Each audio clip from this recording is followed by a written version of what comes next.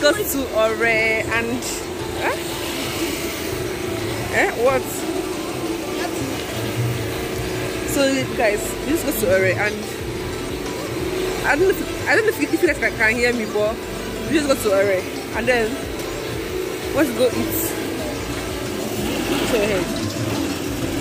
ahead.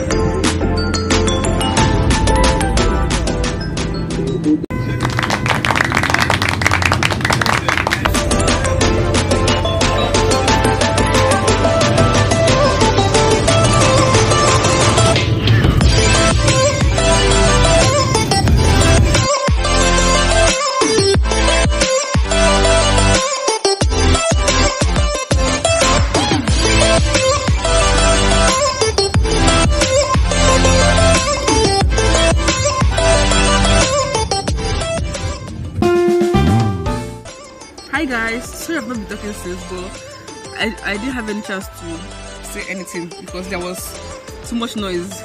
And this one is a noisy place. Yes, I've been inside my house for for how many months now? Because of because of this stupid lockdown. And I've not been outside so I forgot how noisy the world can be. So um, I just got to Lagos and my aunt came to pick me up and my with my cousin brother. We traveled together so um i don't know. I don't know how this journey is going to uh, this um what? Get out. Get out. I don't i don't know how many months i'm going to i'm going to be here. But then yeah. We're going to see all that.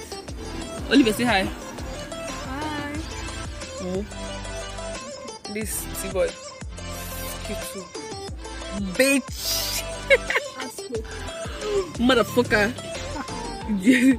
so um i'll see you guys when i get to the house yeah Don't forget to buy something. and you? And I could not bear the one day I told that glasses 1,000. wait now let me talk now oh, my mom is calling me